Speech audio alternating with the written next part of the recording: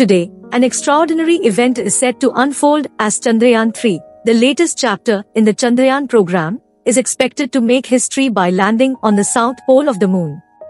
Welcome to the incredible story of Chandrayaan, India's remarkable achievements and aspirations beyond Earth's boundaries. Our journey begins with a vision, a dream to explore the moon, birthed by the brilliant minds at the Indian Space Research Organization.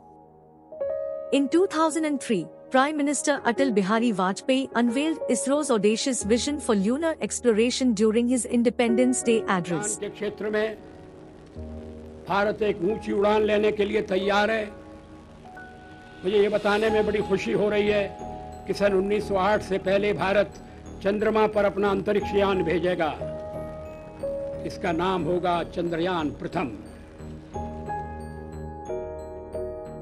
The saga truly began with Chandrayaan 1 in 2008.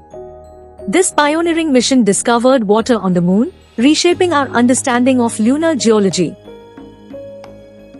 In 2019, Chandrayaan 2 embarked on an even grander journey, aiming for a soft lunar landing.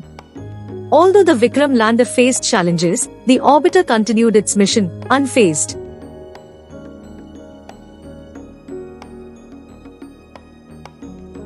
Now, in 2023, we stand on the brink of a new chapter, Chandrayaan 3. It's a second chance to etch India's name in lunar history as we eagerly anticipate the upcoming soft landing at the moon's south pole. Looking ahead, Chandrayaan 4, scheduled for 2026, offers exciting prospects, including the exploration of lunar poles, sample collection, and the development of lunar night survival technologies. As we navigate this cosmic journey, remember that Chandrayaan is not just about reaching for the moon, it's about reaching for the stars.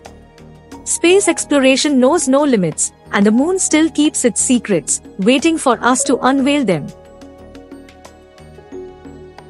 This was the story of Chandrayaan, a journey that continues to illuminate the boundless potential of space exploration, unveiling mysteries and shaping humanity's cosmic ambitions.